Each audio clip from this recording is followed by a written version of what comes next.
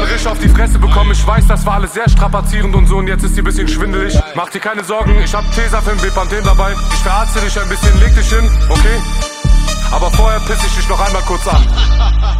Komme, abgefuckt mit Baretta, sorg für ein Attentat in der Mensa. Ja, ihr seid allesamt Pisser-Rapper und kommt mit Nagellack in Magenta. Zu viele Lutscher von Rapper-Fame, kaufen bei Alibaba ne Tennis-Chain, rappen über das Ticken von Mary Jane. Doch in Wahrheit waren alle nur Venice Brain. Das ganze Land guckt auf die Heavyweights. Mein Signing sieht aus wie von NBA. Dein Signing sieht aus so wie SDK und kriegt ein Sponsoring-Deal von Tailyway.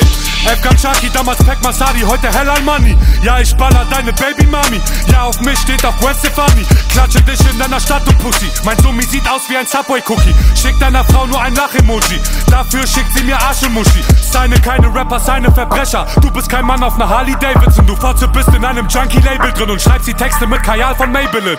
Mach Platz für die neue Ära. Mach dein Konto leerer mit Amnesia Hate statt Aloe Vera. Schmuck Accessoire ist dein Todesschläger. Mr. Moneymaker und nicht Bodo Schäfer.